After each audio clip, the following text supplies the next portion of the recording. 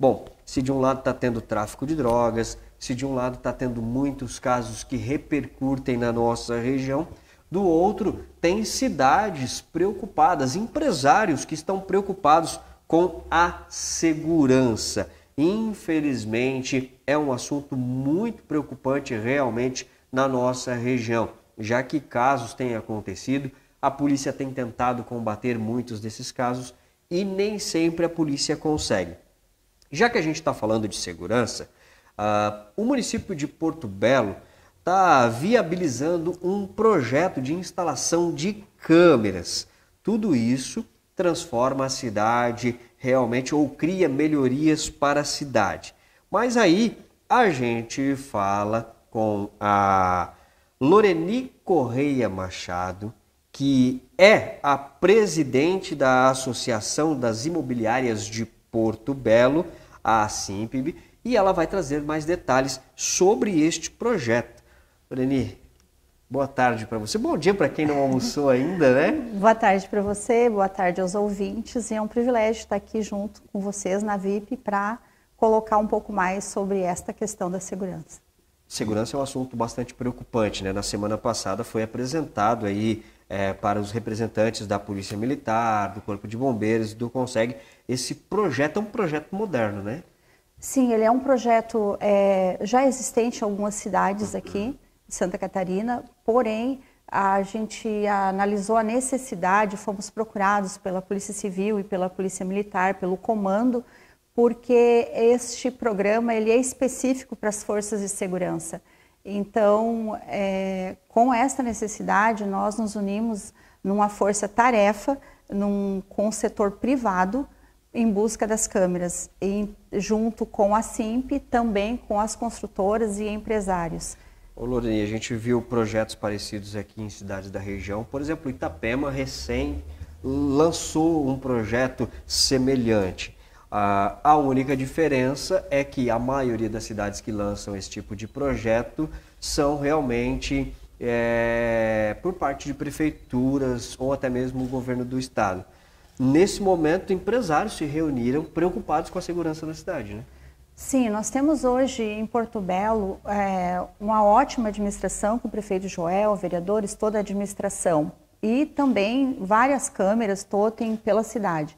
A questão, o diferencial é que estas câmeras elas são de alta resolução, é, com leituras OCR, leituras de placa instantâneo, além o que muda na situação é que estas câmeras vão ter um programa específico uhum. que vai estar ligando a região, as cidades e também a nível nacional, a nível Brasil, em questão de segundos. Hoje, porque dentro do que nos foi colocado pela Polícia Civil, seus investigadores e Polícia Militar, uma investigação que duraria talvez 15 dias é, ou um mês ou mais, juntando pedacinhos de câmeras para conseguir montar para uma investigação, nós temos assim é, essa resolução em 30 minutos, é, uma coisa rápida e questão de segundos eu posso, é, com este programa está vendo uma placa, quer dizer, a Força de Segurança uhum. pode estar tá vendo uma placa aqui é, que vai estar tá lá em São Paulo. Então é uma coisa muito rápida, muito necessário para a nossa cidade hoje.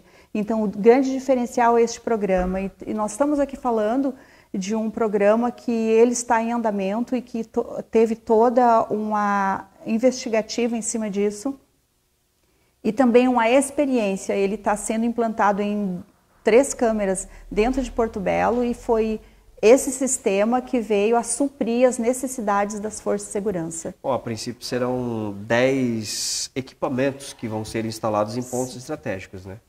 Sim, já foi mapeado na cidade os 10 pontos estratégicos e assim, ó, eu estou muito feliz porque no dia de hoje é, nós completamos já hoje 10 câmeras, estamos com as 10 câmeras e amanhã vamos estar numa reunião já com empresários. É, também agradeço muito as construtoras que se empenharam nesse sentido e para a gente finalizar, para que conseguir já em dezembro iniciar com as instalações. Ô, ô Loreni, a gente sabe que parece que 10 câmeras são poucas, né? Mas avaliando que hoje o município não tem nenhuma, passa já a ser uma, uma grande diferença para a sociedade. Isso, 10 câmeras, elas são o início, né? Uhum. Precisa de muito mais. É, quero deixar claro que tem muitas câmeras em Porto Belo, porém, com este programa, não. Uhum. Essa é, esse é o diferencial. Mas é o começo e a gente espera buscar mais ainda. Eu gostaria de ser, só frisar uma cidade, por exemplo, Brusque, ela diminuiu em 76% a criminalidade e lá é instalado várias câmeras em, e também outras cidades ao redor. Eu acredito que a gente precise uh, dar a continuidade nesse projeto. E, com, e, como vocês identificaram essa necessidade e principalmente a, a, iniciativa privada? Porque a gente sabe, né? Seria muito mais fácil cobrar do poder público esse tipo de monitoramento, mas de repente não. Vocês pensaram assim, não, a iniciativa privada também precisa fazer algo, né? Sim. É, começou assim de um relacionamento, por isso eu digo a importância de se ter as conversas né, uhum. né, é, com as pessoas certas. Então, de um relacionamento de conversa com é, investigadores da Polícia Civil, é, numa amizade, então uh, houve esta conversa da necessidade. É, diante disso, até o meu esposo, que, que também faz parte da SIM, foi ele que me trouxe, e eu disse, não, vamos tomar isso aí, vamos ajudar. Até em conversa com a delegada e a delegada a doutora Luana e o tenente Jobert, eles nos colocaram dessa necessidade e que, se nós partíssemos para o poder público, isso demoraria um tempo, porque precisa de licitação, uhum. então ah, isso é, dificultaria. E eles já estavam tentando algum tempo e a, e a demora está prejudicando, na verdade, parte da segurança. E qual foi e, o valor investido nesse projeto? É, então, a cada câmera hoje, ela está no valor de R$ 4.400 uhum. e a manutenção e o programa inserido na câmera, ele vai estar tá em 250 reais por mês. Quer dizer que quem doou a câmera já assume também a mensalidade. Um projeto viável é, avaliando a segurança do município. Sim, nós temos essa ideia também, conversando com alguns vereadores e também a gente e com algumas construtoras, o que, que a gente pensa? É, é possível que a gente venha pedir é, dentro do poder público para que seja colocada alguma parte da outorga onerosa, algum percentual para a segurança, que isso ajudaria muito, né? Mas é, é, tudo, como eu digo, precisamos estar tá passo a passo. Esse foi o start. Esse foi o start, mas assim, eu estou muito feliz, muito agradecida àqueles que, que fizeram as doações, uhum. àqueles que acreditaram, porque isso é algo que imprescindível. A gente precisa buscar e a Simp está é, tá de braços abertos né, para ajudar e para que seja melhor. E tem um benefício muito grande para nossa cidade, se é que posso falar sobre isso. Claro, importante. Então, né? é, o grande benefício é o quê? É a segurança, vamos dizer, para as famílias, uhum. a população em geral é, e para todos aqueles que vêm investir na nossa cidade. Porque hoje Porto Belo é, conta com várias construtoras, uhum. é, com a média de 60 imobiliárias. Então, o nosso município está crescendo em estrutura, está ficando lindo a nossa cidade. E, e o que acontece? Esse pessoal vem investir, é, vem para morar, ou vem para veranear, ou vem comprar, eles são investidores. Uhum. E nós precisamos hoje, como empresário, garantir a segurança desse pessoal que está vindo.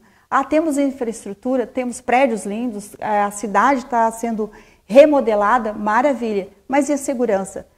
São, são tantos setores, mas a segurança é primordial. E nós Perfeito. precisamos de pessoas na nossa cidade cada vez mais. Loreni, obrigado por esclarecer, ah. então, um passo importante que Porto Belo dá nesse momento. Ah, obrigada a você, obrigada a VIP, obrigado por essa oportunidade.